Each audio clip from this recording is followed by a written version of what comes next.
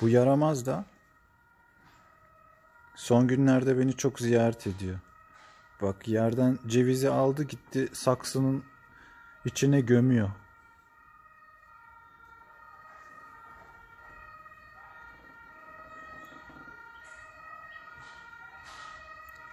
Cevizleri alıyor toprağa gömüyor. Hayvancağız. Toprağa da saksı.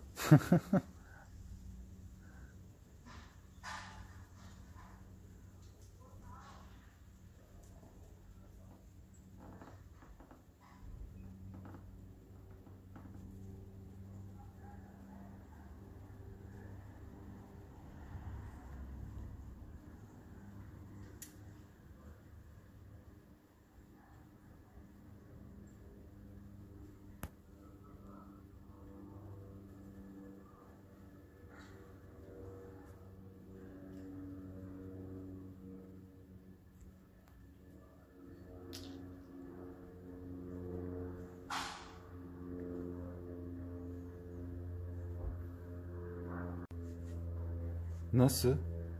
Bu da benim sincapım işte. Burada takılıyor. O da o da beni ziyaret ediyor.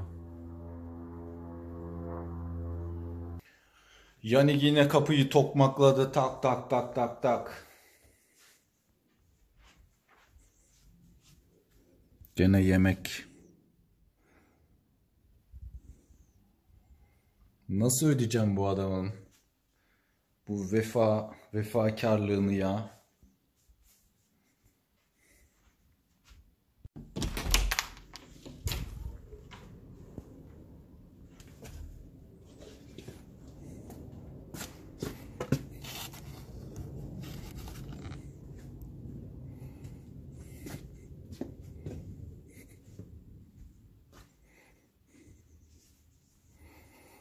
Bugün fasulyeli bir şeyler yapmış. Bugün fasulyeli bir şeyler yapmış bana. Of zeytinli salatalıklı domatesli bugün. Oo. Bana taze fasulye patates yapmış bugün. Ben burada ben burada hastayken herhalde adamın boğazından geçmiyor. Allah'ım ya Rabbim ya. Ya gençler böyle işte.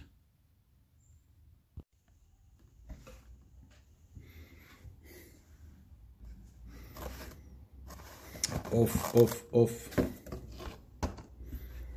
Allah'ım Allah'ım. Ev yemeği bu ev. Anne yemeği bu.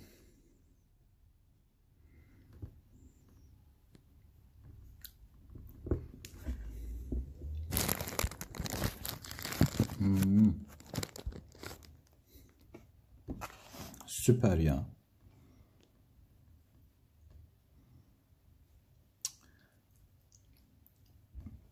Bunu yeğenin annesi yaptı.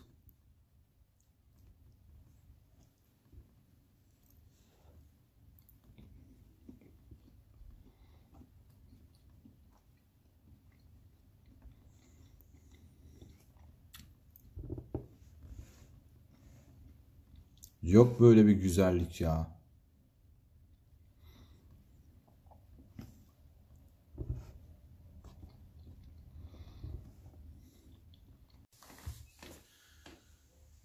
Selamlar. Nasıl gidiyor? Ne var ne yok? Ben atlattım galiba bu korona hikayesini. Ama bugün bir şey öğrendim. Yani iyi ki koronaya yak- yakalanmışım dedim yani içimden. Acayip süper bir şey. Acayip süper bir şey. Bu ikinci duyuşum yalnız. Almanya'da bu olayın doğru olduğunu duymuştum zaten. Bir de Türkiye'de duydum şimdi. Çok sevdiğim bir insandan. Doğruluğu tasdiklendi. Şimdi olay şu. Nasıl anlatsam? Basamak basamak anlatayım. Şimdi bu koronavirüsü hücrenin içine girip kendisini kopyalayıp içine girdiği hü- hücreyi parçalıyor ya. İçine girdiği hücreyi parçalıyor tamam mı?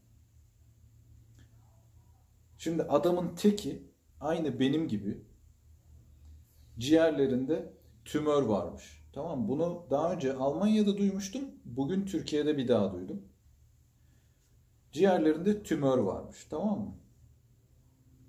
Ameliyata girecekmiş böyle. Ameliyatla kesilip o parça alınacak. Tamam mı? Tümör büyüyor.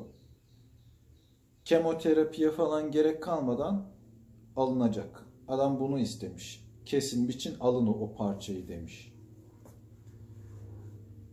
Hazırlanmış falan böyle tam ameliyata girecek. Adamın koronaya yakalandığı tespit edilmiş. Adam koronayla mücadele etmeye başlamış bu sefer. Önce bir korona bitsin ondan sonra ameliyatını gerçekleştiririz diye doktorlar da onu ayrı bir bölüme almışlar. Adam koronayı atlatmış. Tabi bu olay geçerken e, benim ilk duyduğum zamanlarda daha aşı yoktu. Adam yoğun bakımda atlattı bu olayı yani. Şimdi bugünkü duyduğum hikayede ise adam aşı olmuş. Yoğun bakıma girmemiş. Tamam mı? Ama onun da akciğerinde tümör var.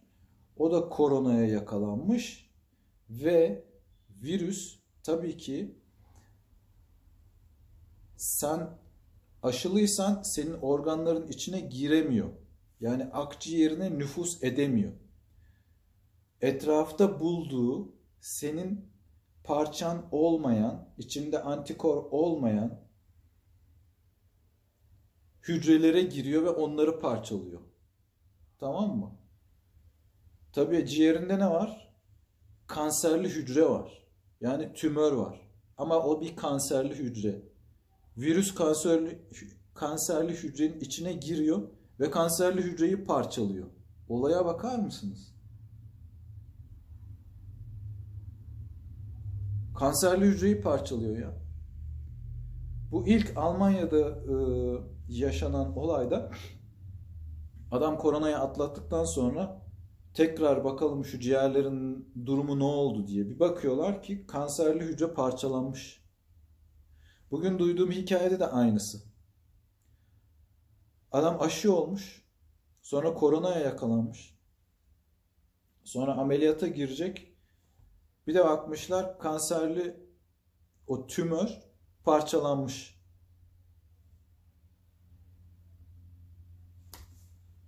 Koronanın faydası ya. Acaba benim ciğerimdeki o tümör parçası da parçalandı mı? Yok oldu mu? Merak ediyorum yani. Bir sonraki ultrason zaman, bir sonraki MR zamanını heyecanla beklemeye başladım yani. Gerçekten böyle bir şey oldu mu? O ağrılar, sızılar, bu göğüsteki ağrılar, sızılar acaba o bölgeyle ilgili bir şey miydi mesela? Böyle de bir olay öğrendim ya. Süper değil mi? Süper yani. Aşının faydası artı koronavirüsünün faydası. bu çok önemli ya. Ciddi söylüyorum yani. Bu tedavi olarak falan da kullanılabilir. Bu cidden bir tedavi olarak kullanılabilir ya. Düşünsenize. Bence bilim adamları bu konuyu araştırmalı. Gerçekten bu vakalarda tümörlü hücreleri, kanserli hücreleri de parçalayıp çıkabiliyorsa bu virüs sağlığa faydalı bir şekilde kullanılabilir diye düşünüyorum ben. Ne dersiniz? Olamaz mı yani?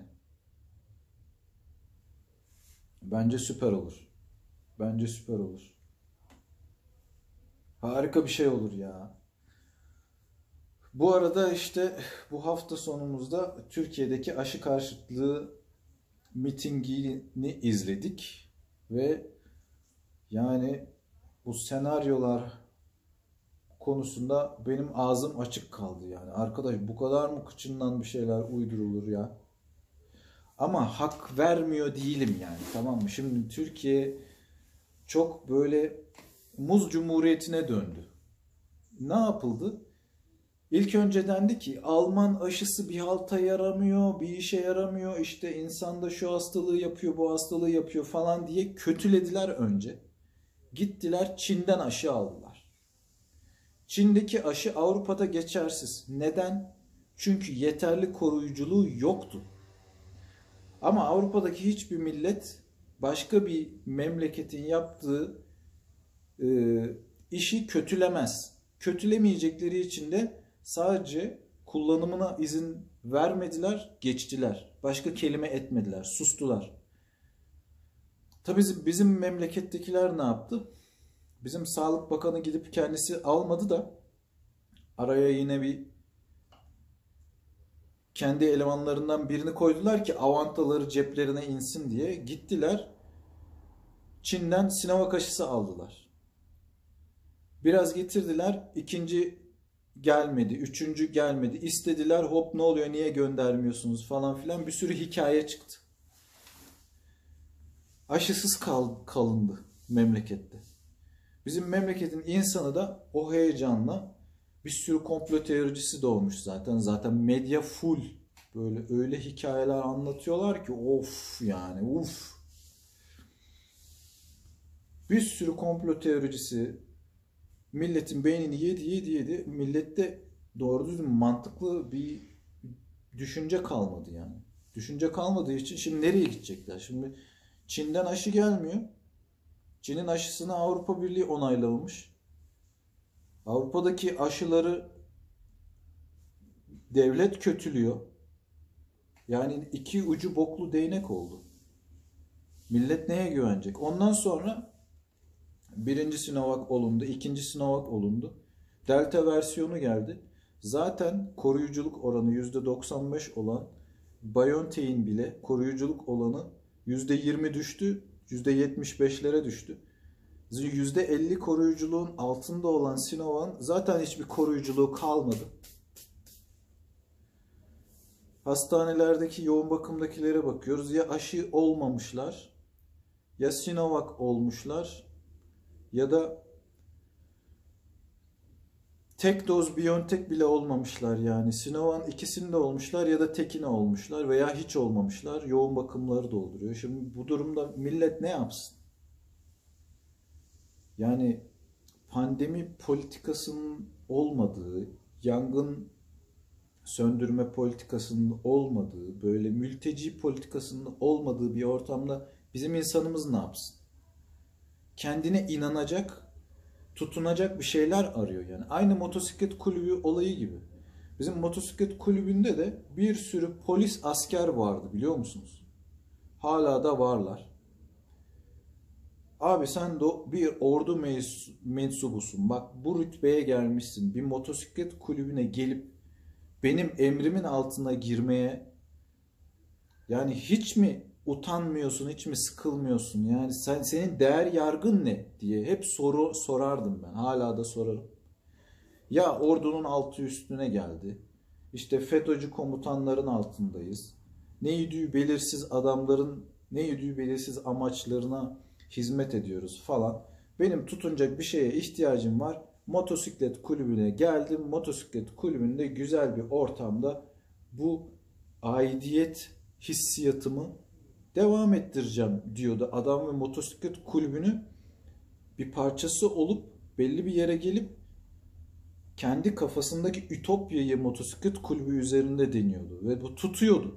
Bir sürü asker polis kardeşimiz oldu böylece. Aynı o hikaye yani vatandaşlar da bu hengamenin içinde tutunacak bir dal arıyorlar ve yanlış dala tutunuyorlar ya. Bir de zaten eğitim yok. Doğru düzgün bir genel kültür seviyesi yok. Memleketi yönetenler Türklükten bir haberler Türkçe bilmiyorlar. Doğru düzgün bir seviyeleri yok. Doğru düzgün bir eğitimleri yok. Hepsi torpille, tanıdıkla bilmem nelerle diplomalarını almışlar falan. E, olacağı bu yani. Cahilleşiyor. Memleket gittikçe cahilleşiyor. Basit bir aşının bile ne olduğunu bilmez halde yani memleket. Yok işte faz denemeleri olmadı bilmem ne. Yok işte bunlar kanunsuz. Yok işte çip takılacak bilmem. Bir politikacının lideri de Geçmiş diyor ki işte bu aşının içinde şöyle bir madde var. Bu da seni yürü, yürüyen alıcıya vericiye dönüştürüyor diyor. Direkt sen bir Robocop'sun yani. Direkt veriyorsun alıyorsun. Direkt anten oldun. Antene çevirdi yani adam. Yani çok vahim yani. Memleketin durumu gerçekten çok vahim. Cehalet almış başını gidiyor. İnsanların kafası karışık. Neyin doğru, neyin yanlış olduğunu bilmeyen bir toplumumuz var. Yani artık ne denir yani çivisi çıkmış bilimin hurafe olduğunu, hurafenin bilim olduğunu falan zannediyorlar. Böyle peşinden koştukları liderler işte o aşı karşıtların konuşmalarını gördük.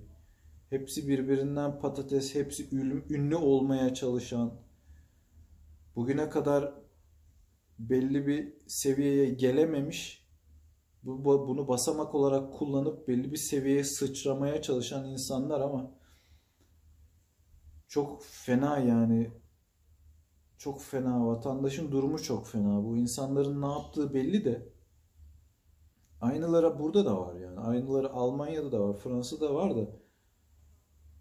Ya bizim memleketimizde ayrı bir boyut ya. Olacak gibi değil ya. Vallahi çok yazık ya. Ciddi söylüyorum çok yazık.